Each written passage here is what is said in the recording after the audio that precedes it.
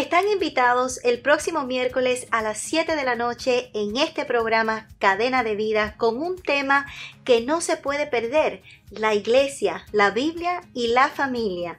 Conmigo se encuentra una amiga y una hermana muy especial, Claudia Muñoz.